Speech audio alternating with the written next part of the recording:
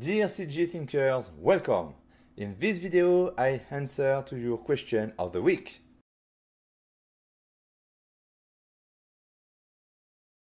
To change the profile of the handle, if you followed the tutorial, you understand this is the main node for that because this node allows us to change this result to this result and this enter is the circle, the circle which is used as profile along the curve. So if you want a square result, we will use a quadrilateral node, okay, and connect it in the enter of the curve to mesh node instead of the curve circle. And I have this result, uh, just reduce these inputs to have something better.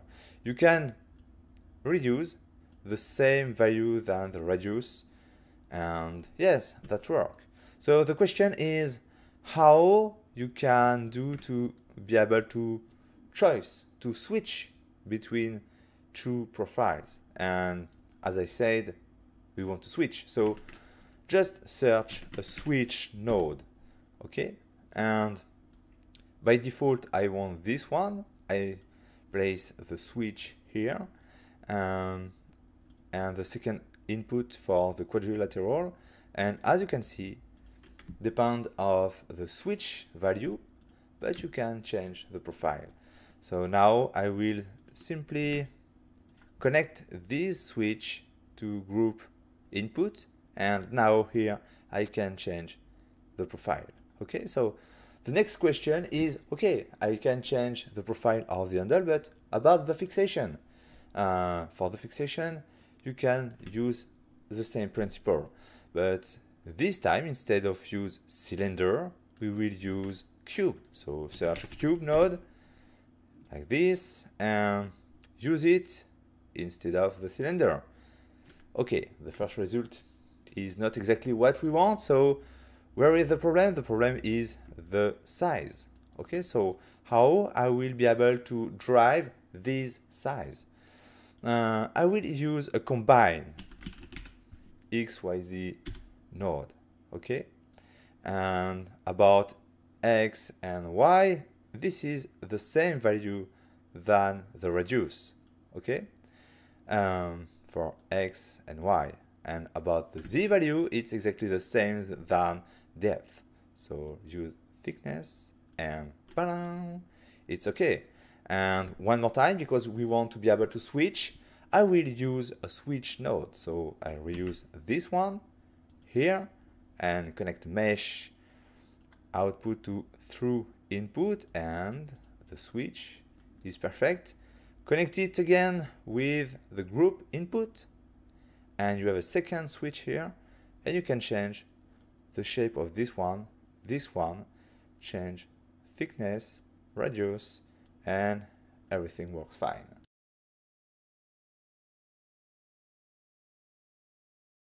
Yes, it's quite complicated just to make an handle, uh, but the question is not how to make an handle, but the handle is uh, a good um, a good thing just to work and practice geometry nodes. I want that people just try geometry node and start to use it. So I don't want to start with a very complex and uh, hard subject or topics uh, because everyone will just stop the tutorial and will never start to use geometry node.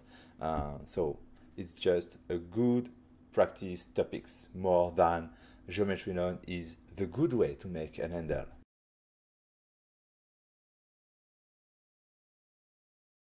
Wox made this model uh, after the tutorial and he submit this uh, model to me because as you can see we have a shading problem.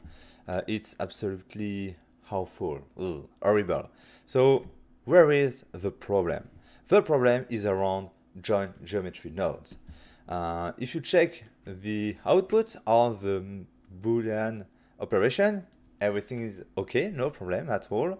If you check the join geometry here, for this part of the model, everything is okay, but if you join these two parts together, we have this shading error. Don't ask to me why, but I think the solution, it was absolutely random. If you check this link, you can see it's not the first input of the join geometry.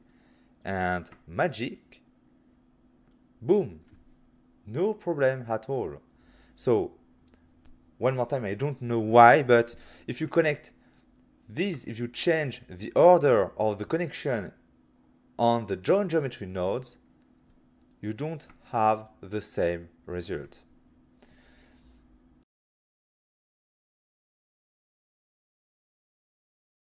Here the question is how to use this image to mask and display some materials only on each area. For example, I want this one only on the red part, uh, this material only on the green part or this material only on the blue part. Um, so how to use this image for that? Uh, the, the tricks is to use a separate color node.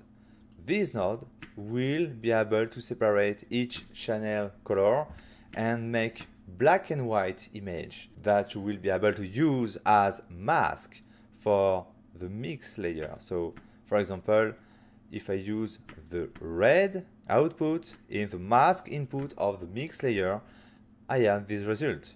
If I connect green into the next mask input, I have this result. So it's a good idea uh, to use this kind of image to distribute some materials and this is how you can use it with separate color. That's it for my answers of your questions of the week. Do not hesitate to let your question uh, in commentaire below. I will answer to some of them every two weeks. See you next time for the next video and not forget we get tired of everything except learning. Bye bye.